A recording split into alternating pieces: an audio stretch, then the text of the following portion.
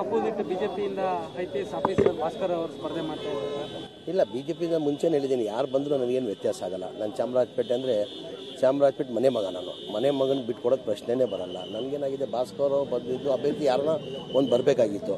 ಇವ್ರು police commissioner ಅದು ಇಟ್ಕೊಂಡು ಬಂದು ನಾನು ಎಲ್ಲೋ ಒಂದು ಕಡೆ ಅವರು ಯಾರ ಮನೆಗೆ ಹೋಗಿದ್ದೆ ತಮಗೆಲ್ಲ ಗೊತ್ತಿದೆ, ನಾನು ಹೇಳೋಕ್ಕಿಲ್ಲ.